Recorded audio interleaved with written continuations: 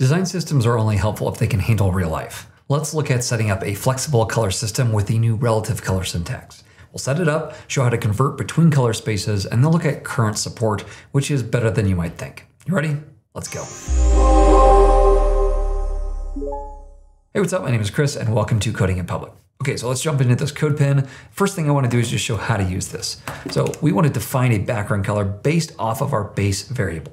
So I can just define uh, HSL like I normally would, except in this case, I'm going to use the from keyword and pass in my original color, the color I want to base it off of. In this case, I can use that variable here, uh, base. Of course, you could hard code it there as well, and it could be of any type. It could be OKLCH, it can be HSL, hex, it doesn't really matter.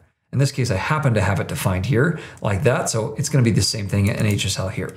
And this will spit back to us those broken down sections, H, S, and L. Now it's naming it these because that's the actual function we're using.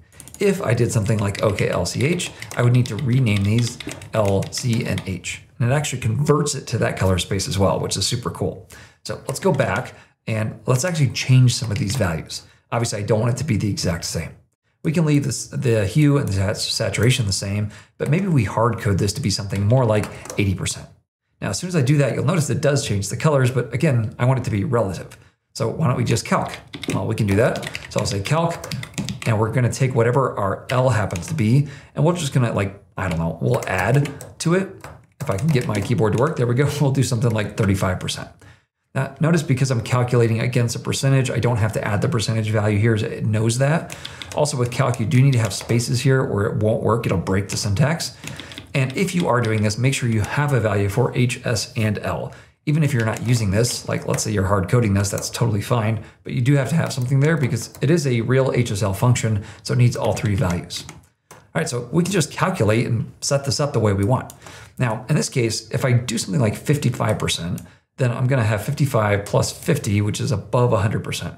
So in some cases, you actually might want to use something like the clamp function, which sets a minimum value. In this case, we do zero, a maximum value, which in this case would be 100, and then the ideal, ideal value, which is right there in the middle. So now we've actually set this up to be more flexible. So as I change this, let's change it to something like 20%, that will flex for us. If I go all the way to something like 90%, it'll only ever go to 100% because that's the maximum it can be. So this clamp value can be super helpful depending on which color function you're using. In this case, obviously I'm using HSL. All right, uh, let's put this back at 50%, and then let's go ahead and add the primary as well. We're gonna do the same kind of thing. So HSL from, in this case, I'm gonna just define a color. So we'll do something like, I don't even know what this is gonna be. We'll do EF123A or something, okay? So we're actually using a hex value as our starting point. Now, once again, I'm gonna get H, S, and L. We can see whatever color that we happen to create. Look at that, it's a red. This is why I don't like hex, because I don't know until we're done. Now, again, it's converting this for us and passing it back to us as H, S, and L values. So we can now use these to kind of relatively define it based on our starting point. Now, I know how to work with HSL when it comes to calculations. So I can say, hey, this must be in like the 2 or 20 or 40 range, something like that. So I could calculate this and say something like, I don't know, H plus, let's do 40. And now this should be slightly more towards the orange, and there we go. So I can actually calculate this, even converting color spaces as well.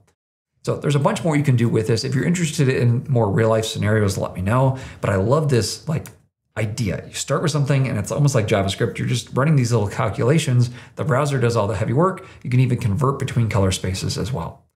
Uh, I should mention if you are converting between color spaces that treat those numbers differently, again, you'll want to use this clamp function.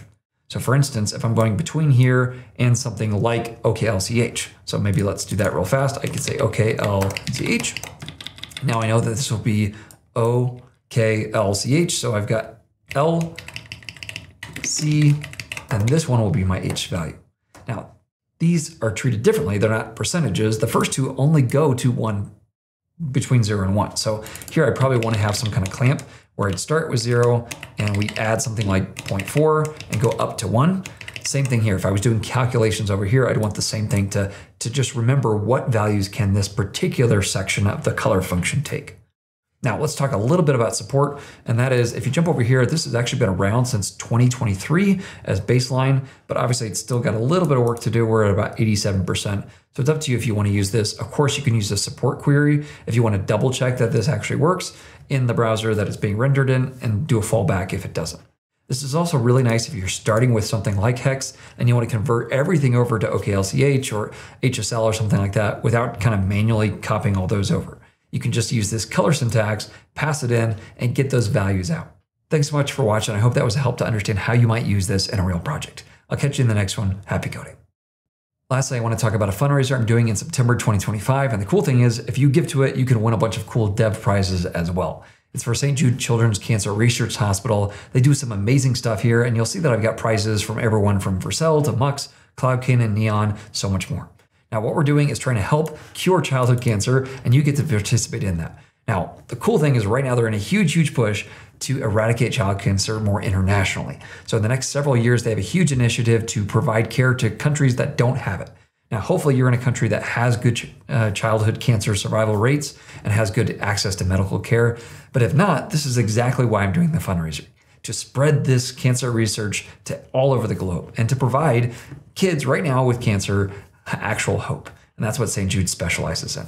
If you give at least five bucks and send it to me by the end of the year, I've got almost $7,500 worth of prizes to pass out to those who do that. You can enter, and it basically gives you a raffle ticket where you can win one of these cool dev prizes. So huge thanks to all the companies that sponsored, partnered with me, like CloudCannon, Console Ninja, Git Tower, Dracula, my own Astro course, Mux, which is a really cool video platform, Neon, Quokka, Vercel, Wallaby, and Warp. There's tons to win, and you can also help eradicate childhood cancer with me. You ready?